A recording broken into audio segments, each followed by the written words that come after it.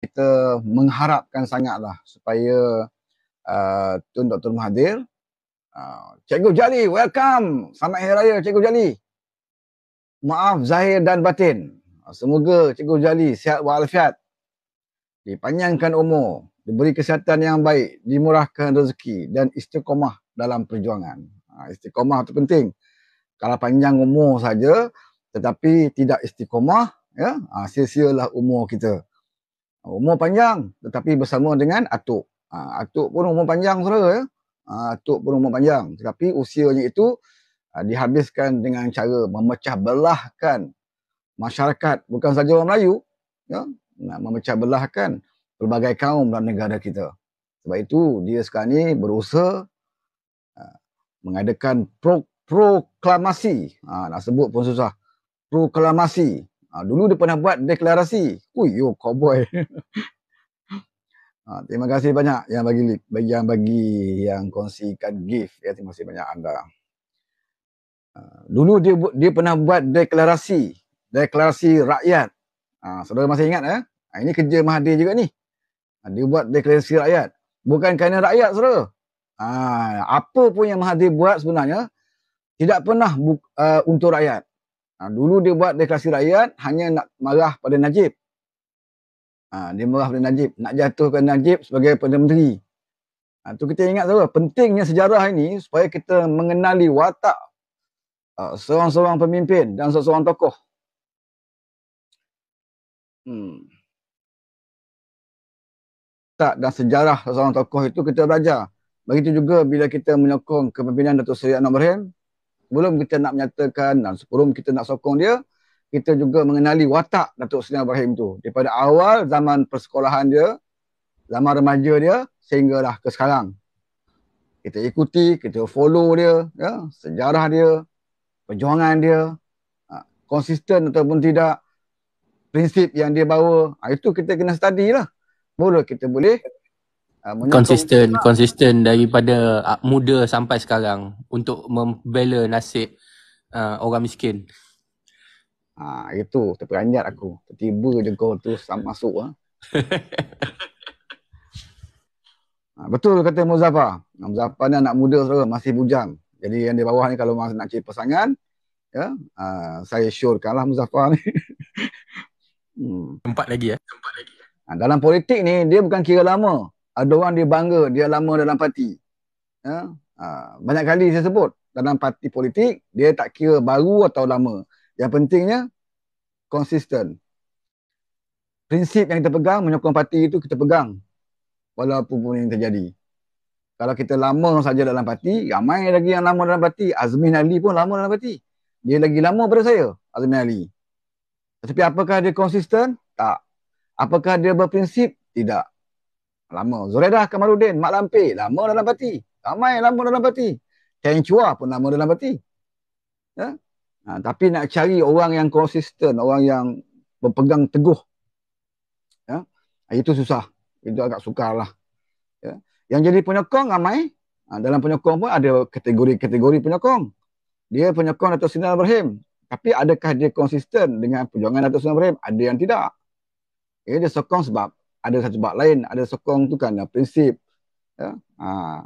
Ada yang menyokong Datuk Seri Ibrahim, apabila Datuk Seri Ibrahim ada jawatan. Ha, itu kita kena tahu. Ya? Tak pernah-pernah kita tengok dia sokong Datuk Seri Ibrahim selama ni. Tiba-tiba hari ni jadi penyokong kuat. Sebab apa? Sebab Datuk Seri Ibrahim ada jawatan Perdana Menteri.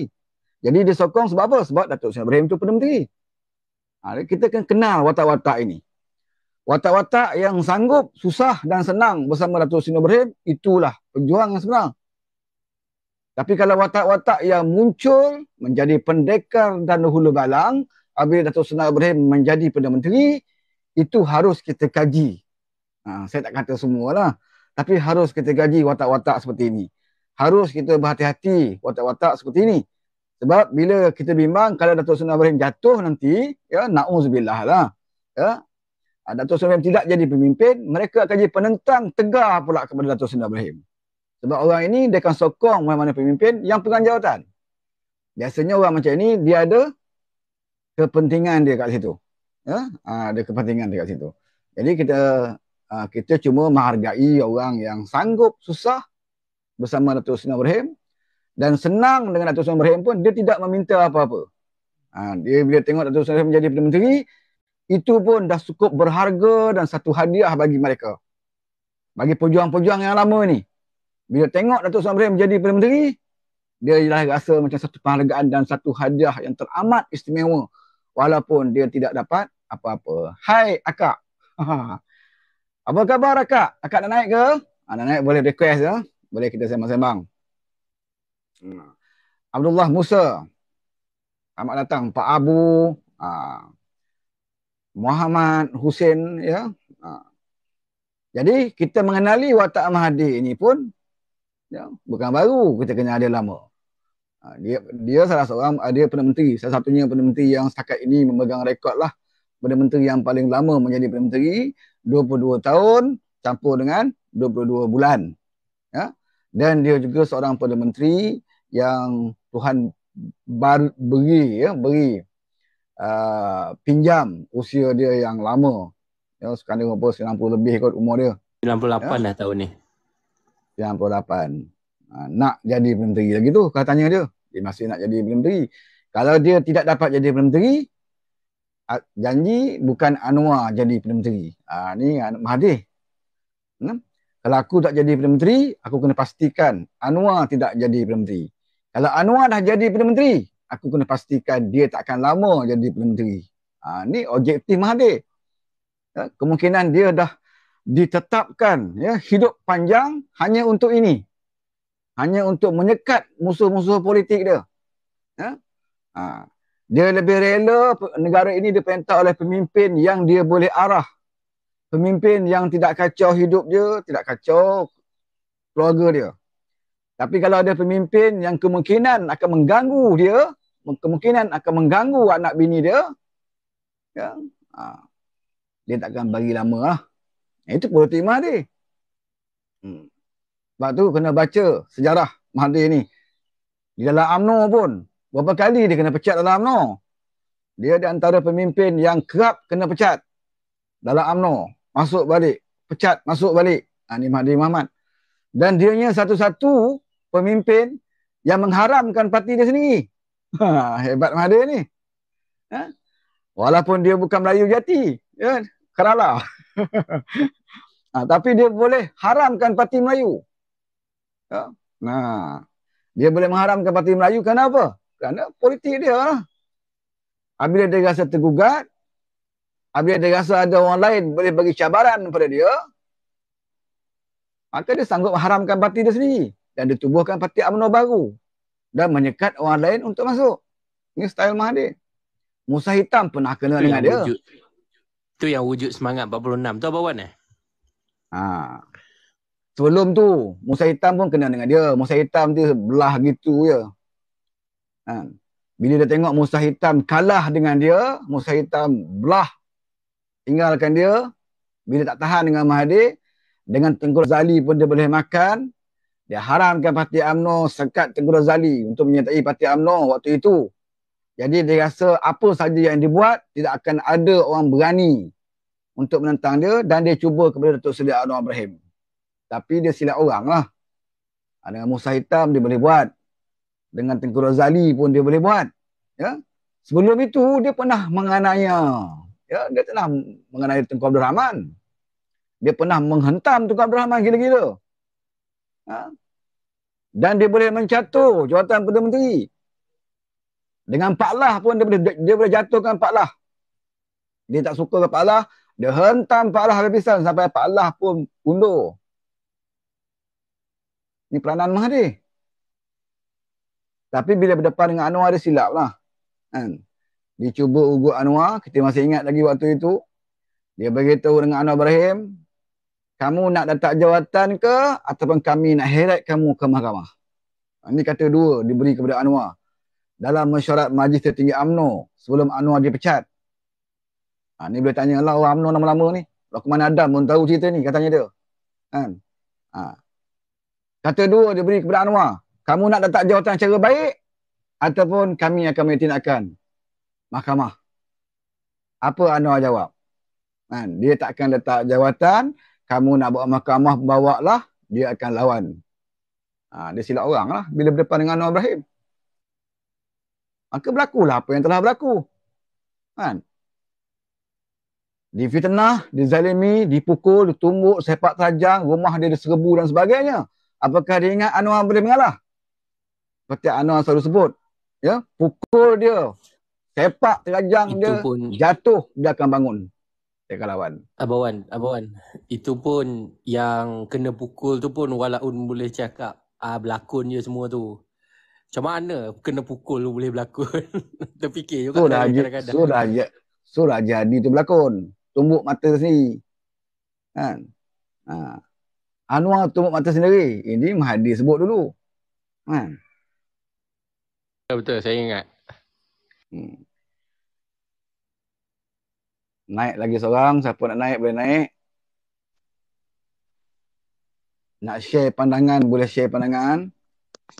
Assalamualaikum. Mawan. Waalaikumsalam. Waalaikumsalam. Abu Jihad.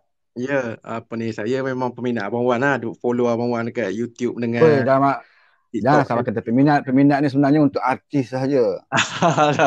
Kira saya so ha. follow lah, follower, follower. Penyokong lah, penyokong. Okay, kita sama-sama penyokong macam tu. Okay. Ha, kita sama uh, penyokong. Uh, yang first kali saya nak declare saya bukan walaun.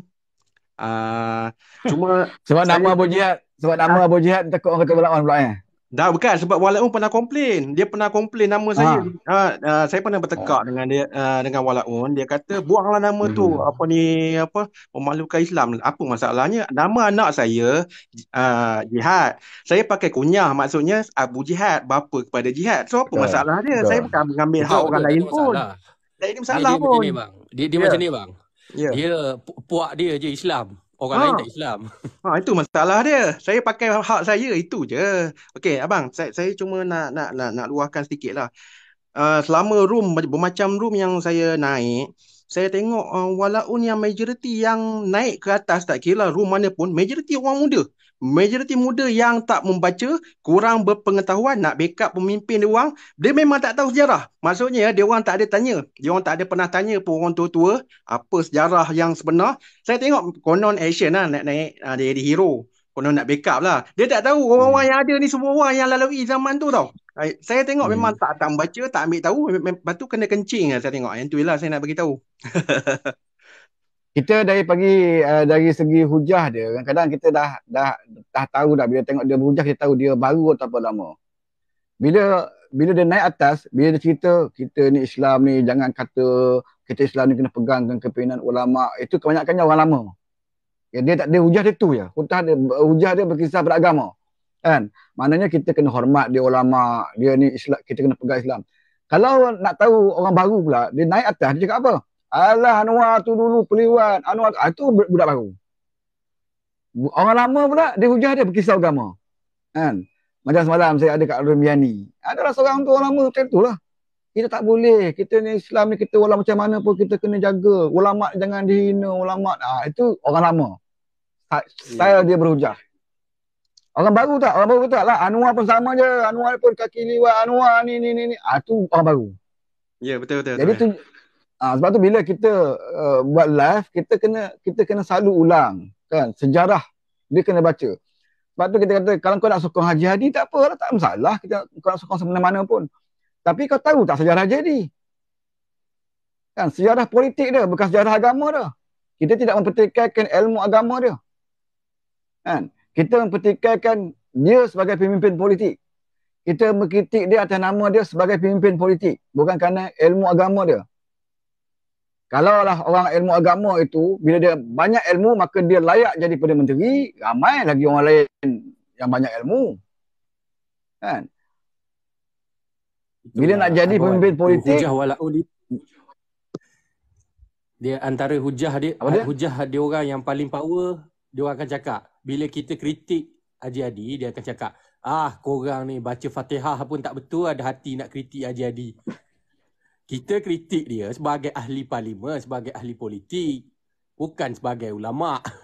Bukan kita nak kritik ni, bukan kita nak kritik baca dia. Fatihah tak betul, apa semua bukan bab agama. Hmm. Kita kritik dah so, cakap, kalau dasar. kalau kalau Fatihah itu nak jadikan alasan melayakkan seorang itu boleh mengkritik ramai lah orang boleh baca Fatihah. Aku kalau aku tengah live macam ni, kalau orang kata oh, kau pun Fatihah tak betul, aku nak suruh dia baca Fatihah, aku nak dengar dulu. Sebelum kau kata, kau ni baca Fatihah tak betul. Okey, sekarang aku nak dengar kau baca Fatihah dengan betul. Dengar. Kita nak dengar dia baca Fatihah dengan betul. Kemudian kita baca. Kan? Aku nak tengok apa beza kau dengan dengan aku baca Fatihah. Hmm. Bismillahirrahmanirrahim. Ah, Bang Syekh. Ha, itu, itu itu dia main itu qori tu. Ha. Dia bukan sekat baca baca Quran, dia ni qori. Alif ba ta sa jim ha ha dal. Adam, Adam. Ya. Adam. Apa Ya, ya, kalau kalau kalau kita kecil-kecil dulu dia ada uh, kalau habis habis kita baca uh, mengaji tu kalau orang dulu-dulu lah kan waw alif Ha. lam sin sabtu data was sin data sah lam alif data ya ah, itu orang dulu-dulu tau kalau budak sekarang ni aku tak pernah ah, budak sekarang aku dah tak pernah jumpa dah. Alik Sekarang di budak- atas A, alik di bawah I, alik di depan U, A, I, U. Ha, tu dia jangan tu dua jangan ngaji. Ah betul betul. dulu. Sekarang ni, Ah, sekarang ni dia pakai ikra. Sekarang ni dia pakai Ah. ikra. Abata. Itulah dia memudahkan sebenarnya Hmm. tapi dalam dalam bab Islam ni Islam ni sebenarnya uh, bersih mulia dipandang apa dipandang bukan pada Islam ni bukan pada bangsa Islam ni semua bangsa berga- beragama Islam semua ada tak ada makna pun kalau kita kata kita ni pas kita Islam tapi uh, bila jumpa kat kedai judi beli nombor ah sama je lah kan Betul? Betul. Saya ni Sebab tu kita jangan saya ni, saya ni saya nak kenalkan diri saya lah. Saya sebenarnya uh, nama saya Muhammad Usnin bin Haji Muhammad Ali. Saya ni anak orang PAS seumur hidup tapi saya bukan PAS. Uh, sebab bapak saya ajar saya pilih parti mana yang kau suka, janji jangan tinggalkan agama kita. Ah itu yang penting. Ah. Dan saya orang reformasi tahun 98 bersama dengan Datuk Seri Wan Azizah Datuk Seri Anwar dan uh, Nurul Izzah masa tu umur dia 17 tahun. Hmm, Jadi saya tak naklah uh, sembang-sembangkan yang saya ni reformasi macam mana. Tapi kalau siapa yang ba- baru lahir tahun 2000 tu uh, yang tak pernah kena belasah dengan FRU uh, boleh jumpa kita. Macam mana kita boleh ceritakan kena belasah FRU zaman Mahathir dulu macam mana? Ah kena pijak kepala ni macam mana, kena sembuh air kuning tu macam mana kita boleh ceritakan. Ah itu baru betul-betul orang reformasi. Kalau setakat reformasi uh, lepas tu uh, dia dia benci dengan reformasi, dia cakap apalah reformasi lain ni lah menyusahkan. Dia tak rasa kena terajang dengan FRU macam mana. Betul tak bang? Ah. Betul, betul, betul. betul. Kalau dia rasa Kadang-kadang orang ah kadang-kadang orang yang pernah kena terajang, kena sepak FRU, kena sembuh air gas itu pun ada yang tak tahan. ya ada betul jelot. Dia punya Ah. istiqomah dia kurang. Istiqomah dia Ya. kurang. Sebab tu saya selalu sebut, orang orang nak tahu seorang tu tahan diuji, apabila dia diuji dengan kesenangan, dia menang, dia berjaya, diuji dengan kesenangan dan diuji dengan kesusahan pun dia berjaya. Ya alhamdulillah. watak dia Anwar watak dia Anwar Ibrahim lah. Anwar Ibrahim ni dia, dia pernah Tuhan uji dia dengan kesusahan waktu dia pelajar lagi kan? Berdemonstrasi dan dia ditahan ISA masa dia Betul. masuk sebelum masuk politik. Dan dia berjaya. Kemudian Tuhan uji dia dengan kesenangan. Dia dapat jawatan timbalan Perdana Menteri Menteri Keuangan tujuh tahun. Perbandaan negara kunci wang negara tu dekat tangan Anwar. Tujuh tahun. Ya, kalau dia nak kaya diri dia keluarga dia boleh waktu itu. Tuhan uji dia dengan kesenangan waktu itu dan dia berjaya Kemudian Tuhan uji lagi dengan kesusahan. Fitnah, zalim, masuk penjara berkali-kali. Ditumbuk terajang. Berjaya tak? Dia berjaya. Jadi orang pemimpin macam ini, kita nak pemimpin yang diuji dengan senang dia berjaya, diuji dengan susah dia berjaya. Macam Azmin, dia diuji dengan susah. Okey, waktu itu dia difitnah. Keluarga dia juga difitnah Azmin ni. Kemudian dia dia juga ber, uh, berdemonstrasi kena sembuh FIU. Dia diuji. Dia berjaya waktu itu. Tapi bila Tuhan uji dia dengan kesenangan, uji dengan jawatan ada ah, gagal. Tak cukup dia bawah kerajaan PH jadi menteri ekonomi dia nak lebih tinggi daripada itu. Ah itu dia belot dia cannot. maknanya dia dia diuji dengan senang dia habis hancur. Agama ramai daripada kita susah boleh hadapi. Tapi bila Tuhan uji dengan kekayaan kita lupa diri. Jadi Anwar ni Tuhan uji dia dua-dua. Susah senang susah balik. Dan hari ini dia jadi Perdana Menteri. Tuhan uji dia jadi Perdana Menteri. Kan? Apakah dia bolak kekayaan? Gaji pun dia tak ambil. Kan? Tapi bila kita sebut pasal gaji ni ramai lah. Orang kata, alah gaji tak ambil tapi dia macam lah. Orang kacik salah, dia jumpa dah salah. Dia, dia kata ni, dia kata, Anwar dia kata berani. gaji tak Anwar, ambil. Anwar Dia kata berani gaji tak ambil tak. Ha, memang dia tak ambil gaji. Buat apa ambil gaji? Sebab dia dah memang dia dah ada gaji daripada dulu. Dia ahli parlimen berapa tahun? Tak bang, dia Takkan kata lagi macam ni. gaji. Dia orang kata macam ni. Dia orang kata gaji tak ambil tapi allowance ambil. Aku pun pening. aku pun pening. Tak ada. Masalahnya dia orang tak rapat buku pak, mana ada buku pakturan, kau tolak gaji, kemudian elon kau ambil tak ada. Dalam peraturan uh, perkhidmatan awam, pembayaran gaji pun tak boleh. Kau tak boleh kata saya tak nak gaji tapi nak allowance. Tak boleh. Kalau dia dia datang selari. Gaji Ya, dan betul. allowance. Kalau kau tolak gaji, allowance pun kau tak dapat. Sama juga dia kata, oh An- Anwar tak ambil gaji Perdana Menteri. Tapi dia Menteri Keuangan, dia ambil gaji Menteri Keuangan. Itu pun dia tak faham undang-undang. Prosedur dia, kalau kau ada dua jawatan, gaji kau berhak satu saja, iaitu jawatan yang tertinggi. Kalau Perdana Menteri dengan Menteri Keuangan, yang tertinggi adalah Perdana Menteri. Kalau kau tolak gaji Perdana Menteri, bermakna Menteri Keuangan pun kau dapat. Sebab tu nak kena faham prosedur keuangan tu, pembayaran gaji ni kena faham lah. Tanya orang yang bekerja kat bahagian keuangan, perbendaraan. Dia tahulah prosedur tu. Kalau kau tak nak gaji Perdana Menteri, bermakna Anwar pun tak dapat gaji Menteri Keuangan.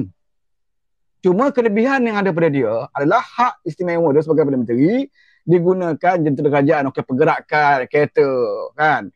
Okey minyak uh, digunakan jet peribadi dia untuk nak pergi ke cek pelabur kat luar negara. Ah itu memang hak dia. Yang itu memanglah dia takkan dia nak keluar duit pula. Itu kerjaan tanggung. Itulah Kan? bang. Itulah sikit dia ada kelebihan. Yang dia orang bising-bising Anwar pakai helikopter apa semua. Dia tak tahu helikopter tu apa sponsor daripada apa Tan Sri Sheikh Azman. Sheikh Azman tu ada 300 helikopter. Dia free je itu boleh bagi. sebelum itu Ha. itu masa PRU kan. Ha, masa PRU. Ya. Sekarang Bila ni dia jadi Perdana Menteri, bila dia jadi menteri itu dah ada hak untuk dia. Ya betul. Dan dia gunakan itu pun bukan untuk bawa anak dia bercuti kat Langkawi, anak dia makan angin. Setiap dia bergerak, ada benda dia bawa balik untuk rakyat. Dia pergi negara mana lah, hatta negara yang, yang agak kecil, macam Kemboja tu. Kan? Bukan negara yang besar pun, bukan negara hebat sangat pun. Dia pergi Kemboja sekalipun, dia bawa balik. Ada benda perjanjian persefahaman, MOU yang dibuat, mana ada kerja dia buat. Ke mana negeri dia pergi sekalipun. Dia tak pernah pergi, balik kosong. Kita boleh ikuti. Bukan macam duta khas Timur Tengah yang tak pernah bergerak. Kita lantik dia duta khas Timur Tengah. Dia duduk berlega pantai timur. Kan dia silap faham. Dia, dia nak pergi sana bang. Dia pun tak lepas pergi sana. tak boleh masuk pun. Ini masalahnya bila lantik pada orang yang tak kena dengan tempat. Bila kau meletak orang yang tidak kena dengan tempat, bermakna kau melakukan kezaliman lah. Meletakkan sesuatu bukan pada tempat. Selamat datang, Cikgu Jali. Apa khabar? negara. Abang, abang. Abang. Aku nak alu-alukan Cikgu Jali kita ni. Okey. Cikgu Jali ni. Ha. Apa Khabar khabar? baik. Assalamualaikum semua. Selamat Hari Raya. Selamat Hari Raya, maaf batin. Cikgu Jali. Ini Selamat apa Hari Raya, Cikgu Jali. mengutuk-ngutuk Perdana Menteri aku ni. Siapa itu? Tak ada, tak ada. Tak ada Aku betul. walaun-walaun kat bawah ni yang. Ha. Walau on aku ha. ajak naik tak nak naik. Main naik lah, atas ni. Tak, Saya nak turun tak, dulu bang. tak, Saya nak turun dulu sebab nak pergi solat. Nak solat Jumaat. Okey bang. Okey, eh? okey. Ah, kejap lagi. Okey, ada dua setengah. Ha. Hmm. Abang Wan, tak saya nak cakap ada satu negara je yang duta Timur Tengah dulu boleh masuk. Iran, Iran dia boleh masuk. Ah, Iran tu kampung dia. Dia pergi Iran tu macam balik kampung. Ha, Wan. Kau buat Ya. live ni pukul, pukul berapa ni? Aku lama tak nak tak dengar kau cakap ni eh. Alah, semalam aku buat live tak masuk. Kau masuk aku tengah tidur. Wah, apa macam mana aku nak cakap? Puan, malam bukan ada walaupun meroyan ke siap baca surah ke apa dia siap apa ni yang dekat room Yani tu. Saya tengok meroyan teruk saya tengok.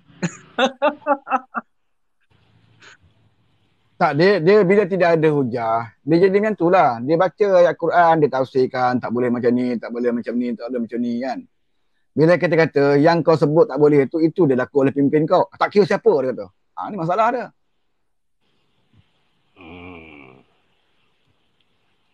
Orang ni nak, nak layan lagi. Masalahnya dia, dia, dia hanya kata, dia buat satu, dia baca ha, apa dalil tu hanya untuk sebelah pihak. Ha, belah dia tak apa. Macam dia kata tak, tak baik kau kau pergi hina, kau pergi kata macam-macam kat tu guru yang jadi. Dia kata dia ni guru agama, dia ni mengajar apa semua kan. Ha, bila kita persoalkan eh kalau macam tu apakah boleh guru, uh, tu guru ni menghina orang lain pula?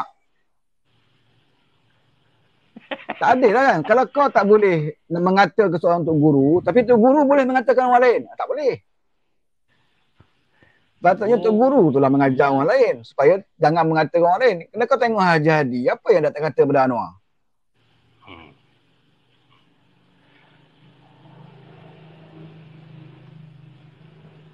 Yang yang dikatakan tu pula bukannya tuduhan sikit-sikit. Kan? Bukan tuduhan yang ringan-ringan, macam-macam. Uh, PKR tolak Al-Quran, PKR menentang Al-Quran. Ini satu tuduhan berat. Bila kau sebut menentang Al-Quran, maksudnya apa? Maksudnya kau kafir. ya?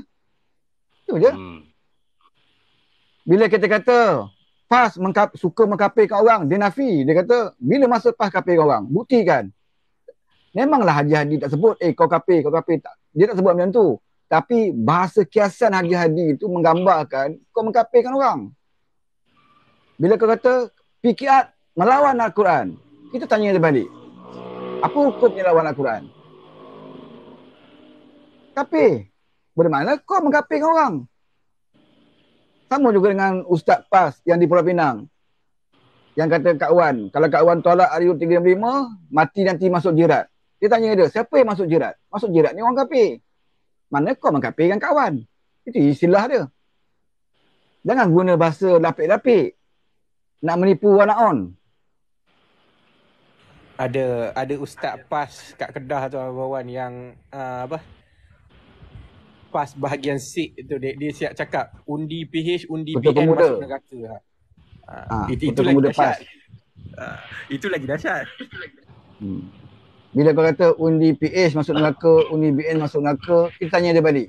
Dia masuk neraka tu siapa? Yang Tuhan jamin masuk neraka siapa? Orang kafir. Bagaimana kau mengkafirkan orang? Memanglah dia, dia tak sebut. Dia tak sebut lah orang kau kafir, kau kafir tak sebut. Tapi bahasa kau gunakan itu, kau boleh menya, mem- membuat tuduhan dengan cara mengkafirkan orang. Hmm. Sebab tu bahasa tu penting. Abang Wan, Hmm. uh, boleh tak Abang Wan kembangkan ataupun huraikan apa yang saya nak, uh, point yang saya nak bagi ni? Okey, uh, kau kita ni kita ni hidup akhir zaman kan. Ramai orang cakap akhir zaman. Uh, nanti akan ada banyak fitnah dan sebagainya. Okey, keyword yang pertama adalah banyak fitnah eh, fitnah. Sama. Yang keduanya uh, ada satu hadis Nabi lebih kurang bunyinya uh, uh, sebelum Dajjal turun, uh, ada perkara yang lebih dahsyat daripada Dajjal iaitu ulama suk. Okey, itu yang kedua. Kaitan Dajjal dan juga ulama suk. Yang ketiganya berkaitan dengan uh, salah satu uh, ke- kelemahan Dajjal ialah tak boleh masuk Mekah dan juga Madinah. Okey, Hmm. itu yang ketiga. Yang keempat ni uh, syurga neraka ni adalah satu permainan ataupun tawaran ke Dajjal. Dajjal ni dia akan macam uh, kelentong kita lah. Kelentong kita kan. Uh, yang apa benar dengan yang salah dia bertukar. Uh, syurga neraka tu sebagainya dia bertukar. Maknanya uh, dia macam menawarkan syurga dan neraka. Okey, itu yang keempat. Dan yang kelima ni uh, berkaitan dengan apa kemarau lah. Berkaitan dengan air. Kan, Dajjal ni dia menawarkan air, kemarau dan sebagainya. Okey, kalau Abang Wan boleh ulas sedikit berkenaan dengan point tu dan relatekan dengan sekarang. Terima kasih Abang Wan. Macam macam aku tengok macam sama je ke. Tidak boleh jejak kaki ke Mekah. Siapa orang dia tak boleh jejak kaki Mekah ni? Mekah dan Madinah ni. Negeri-negeri yang bermasalah air. Negeri mana sekarang ni yang ada kritikal masalah air? Kan? Ha. Jadi Cikgu Jali boleh terangkan. Kita berikan kepada Cikgu Jali. Ya, Bagi Abang Wan, saya sikit. baca saya, saya nak baca hadis yang Abang K sebut tadi. Ha, apa tu? Baca, baca, baca.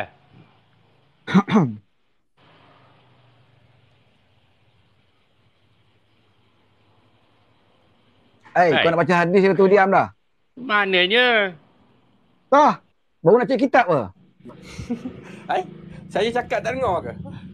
tak dengar dah. lah. Tak boleh, tak Apalah boleh. Dia ni. macam ni, boleh. Kalau Tak boleh, kau boleh. keluar daripada ni buka apps lain, memang TikTok ni akan tak berfungsi. So kau Oh. kena ada dua handphone. Sekejap phone satu Dia lagi keluar kacau. sekejap tadi. Ah, kau baca. Ah, tengok dia keluar sekejap. Okey, sebentar tu Cikgu Jani. Udah sikit Cikgu Jani. Kau nak suruh aku ulah apa? Air. Ulah lah yang isu ada tadi. Tanda-tanda akhir zaman tu. Dan kaitan Ah. dengan yang sekarang. Sebab apa? Dalam Al-Quran Allah Ta'ala banyak kali berpesan. Tidakkah kamu berfikir, tidak kamu berfikir. Dan Allah banyak uh, menyuruh kita melihat tanda-tanda. Tanda-tanda, tanda-tanda. Uh, so Ah. benda ni penting untuk kita observe. Macam cikgu orang sains kan. Bagaimana Hmm. eksperimen dan sebagainya. Cara kita mengkaji itu adalah melalui observation. Dengan melihat tanda-tanda. Dan kita akan dapat findings dan akhirnya kita buat conclusion ataupun kesimpulan. Silakan cikgu. Ha, betul. Aku cakap direct je. Ha. Kau kalau ada ilmu, Hmm. tapi kalau ilmu kau tu tak menunjukkan bahawa kau ni takut dan sayang pada Tuhan, ha, lebih baik kau duduk diam-diam. Kau akan menyusahkan manusia. Tu nombor satu. Nombor dua, ulama ni, dia orang yang tahu, dia orang yang faham, dia orang yang boleh buat. Tapi bila masuk bab yang keempat, kalau dia ilmu dia tu dia salah gunakan untuk mengajar manusia supaya menyeleweng pemikiran kita. Dia akan menyesatkan kita. Jadi kau orang kalau nak dengar apa-apa mana-mana orang berilmu ustaz ke ulama ke apa tolong buat rujukan balik semula. Jangan terima ini barang dengan mudah-mudah. Tiga hari punya kena fikir. Rujuk pada rujukan lain. Ha, itu macam. Kalau tak, akan berlaku lah apa yang masalah kat Kelantan. Kat Kelantan ni nasib baik. Rakyat dia kreatif tahu. Tak ada air, dia boleh cari air. Dia boleh buat. Tapi Cikgu kalau Tuhan dah Kelantan, bagi... duduk Kelantan ke? Oi, aku duduk kat Penang. Aku dah, tu, dah sudah tukar. Sudah tukar lah pasal aku Tapi menyampak. Tapi ada ada hubungan lagi tak kat Kelantan? Eh ada malah tak boleh. Aku punya ada markas sana. Aku ni walaun juga. Ah. Tapi atas sikit daripada walaun. Hmm. Ah begitu Wan. cikgu. Kesimpulan dia macam ni Wan. cuba cuba cek kecek Kelantan sikit cikgu. Sebab walaupun ni dia tak percaya. Dia kata ah korang tak duduk Kelantan. Mai ambo nak royak. Dia perempuan dia orang Kelantan. Ah ambo nak royak. Ambo royak abang duduk ni ku bekie. Oh mu gap Lagi- gap mu. Ah, Daripada tahun 84 lagi ambo duduk. Sehinggalah tahun 2021. Ambo sekabut. Cek tengok cek Kelantan ni. cetera cetera di Barak dulu. Ah, ah, ah. Cukup. Itu baru Tak tahu Kelantan tak Kelantan, kena di Barat dulu. Ah, tak boleh lah. Aku sayang ke Melaka ni. Dondang sayang dia kena ada eh. Ha. Ha, Wan. Ajar budak-budak ni. Jangan Tu, kalau komen dengar kata ustaz, kalau dengar kata ulama, dengar saja dulu. Tapi kena rujuk pada rujukan yang betul. Jangan percaya tiba-tiba. Dia boleh menyesatkan kita. Ada ada tu guru pesan sebelum kita nak berguru dengan seseorang guru, pertama sekali tengok akhlak guru tu dulu. Hmm. Kalau akhlak guru tu pun tak betul, lebih baik tidak payah menuntut dengan guru berkenaan. Sebab kalau menuntut sekalipun, dia tidak ada keberkatan. Walaupun dia ilmu ilmu dia banyak, tapi akhlak dia tak ada. Jadi ilmu dia tu tidak memberi keberkatan kepada orang lain. Sebab itu kadang-kadang kita tengok bila dia banyak ilmu, tetapi pengikut dia lagi teruk. Dia banyak anak murid, beribuan anak murid dia. Tapi anak murid dia semua kaki maki orang, fitnah orang. Sebab apa? Sebab ilmu yang dapat tu tak berkat. Sebab apa tak berkat? Pasal guru sendiri pun akhlak dia teruk. Sombong, ego. Kan? Kemudian suka mengata orang ni, ngata orang ni, ngata orang ni, guru tu sendiri. Jadi ilmu yang dia ada tu sampai ke anak murid, anak murid pun tak dapat berkat. Sebab tu anak murid macam dia juga. Lagi banyak ilmu, lagi kuat fitnah. Hmm. Jadi betul lah kata tuan guru tu. Kalau kita nak menuntut dengan seorang, tengok akhlak dia. Akhlak tuan guru tu. Adakah dia merendah diri? Kan? Adakah dia ego dan sombong? Cukup jumlah. Lebih dari cukup. Esok pergi istana. Ha. Tapi semalam kita dengar dalam room malam uh, walaupun tersebut. Oh, kita orang Islam ni kena terima qada dan qadar dalam hati aku. Eh siapa yang nak terima qada dan qadar ni? Tahu aku puak dia lah yang tak terima qada dan qadar. Betul. Tak, Betul betul. tak boleh terima ke- tidak boleh terima kekalahan. Tapi dia katakan kita, kita orang Islam ni kena terima qada dan qadar. Kalau tak ada air itu adalah qada dan qadar. Kan? Air macam teh tarik itu qada dan qadar. Terima. Hmm. Tak bang. Tapi bila Semalam- bila bab jawatan dan kedudukan tak boleh terima. Semalam bukan setakat qada dan qadar disebut disebut zakat, disebut segala topik dalam buku. Ingat tak buku teks agama Islam kita, topik-topik ke semua disebut. Dah Hmm. macam kau baca buku agama Islam sekolah rendah ke macam mana kau ni? hmm. Habis. Tapi saya saya naik ni sebab sebenarnya nak cakap dengan Abang K. Abang K sebutlah apa yang Pak Yus cakap tu. Sebenarnya Ah, Abang K. Tak- Menarik Pak Yus, Pak Yus kongsi semalam menarik. Abang K boleh kongsikan. Eh. Yang mana ni? Banyak sangat semalam. Berjam-jam Ya, semalam. Yang, Yang Sampai kita pasal walaupun yang kita pasal Yang negeri lima tak ada tu. air. Ah, lima tu Abang K. Eh, Ah. seram nak saya dengar. Yang itu yang saya sebutkan tadi. Itu yang minta Ah. Abang Wan syarah kan. Saya Aku dapat nak point. Hayes sendiri pula pasal eh, Hayes semalam dia dapat dia dapat daripada Mayus tu tepat. Mungkin kalau aku ulang tak tepat lah. Ah, Abang K ada kat atas lama semalam. Saya saya dengar Hmm. bab air. Kata, ah, oh, saya, ah, Pak Yus dia mula dengan ni. Bab, apa, offer syurga dengan neraka. Semalam Hmm. Salman kena wajib neraka. Lepas tu Pak Yus cakap lah, puak-puak ni je yang akan cak- yang boleh tentukan orang dapat syurga ke, dapat neraka ke. Uh, puak-puak ni je yang akan tentukan orang ni syurga ke neraka ke. Uh, itu Oi. itu salah satu apa? Dajjal tu kan. Uh, Dajjal punya style. Lepas tu saya Eh. saya cakap ni memang tak sedap lah. tak sedap macam Pak Yus cakap. Abang Kim mesti boleh ulas dengan lagi cantik. Dia Ah, lagi pandai. Apa ni? Ada Yeah. ni tugas manusia ke nak menentukan engkau boleh masuk neraka, masuk surga ni? Tugas manusia ke? yes, betul. Dia orang ada kunci Tiba-tiba Jali. kita orang Dia- kena wajib neraka semalam. Dia, dia orang je boleh. Kita tak boleh. Dia orang Ya, boleh. betul. Lepas Eh, tu, semalam ah, malam dia kata wajib neraka oh yang main. ah, betul. Lepas tu nombor dua Wajib pasal neraka, air eh? kan. Dahsyat, dahsyat. Di mana ada dajal, di situ tiada air. Ah, so sekarang ni kena kena faham lah. Ah, Kat mana tak air tu? dekat mana yang ah, yang tak ada air? Dekat mana yang krisis airnya teruk sangat? Sampai tak ada air, orang buat demonstrasi tak ada air. Begitu. Ha, Dajjal tak boleh pergi Dajjal tak boleh pergi dua tempat Mekah dan Madinah. Tapi ada Hmm. manusia yang lebih pada dua tempat dia tak boleh pergi. ada. Tak, tu K boleh sambung ulas. lagi dua. ah, ah, apa dia Wan? Yang empat tempat kan? Tak apalah. Korang Ah. sembang lah. Aku bukan tak nak ulang. Nanti anak aku menangis. Aku dalam kereta ni. Pandai lagi nak Bila aku cakap dia kan aku marah dia. Tapi pukul berapa nak nak nak, nak ni Abang Wan? nak pukul satu dah ni. oh. Ah 12.45. 12.45 stop. Ah, okey, okey, Siapa, okey. siapa pergi Oh saya dah lupa lah lagi dua point sebenarnya Otak saya memang short circuit sikit Ah, Abang Wan, cuma saya saya nak nak nak bagi tahu, saya duk ikut Abang Wan ah, dan masuk apa ni bahas dengan Walaun. Sa- ah, Abang Wan bila bahas dengan Walaun lah, Abang, Abang Wan memang sindir gila-gila. Saya ah, kalau sebagai orang yang yang ni ah, kalau kena sindir itu memang menusuk Abang Wan. Tapi Walaun jenis sindir macam tu tak ada apa tau. Maksudnya Walaun ni dia memang kena cakap direct. Memang tak boleh sindir lah. Sindir Betul, sindir betul, betul. tak, tak tu lah. Memang sekarang memang kena cakap direct. Tak boleh dah sindir-sindir.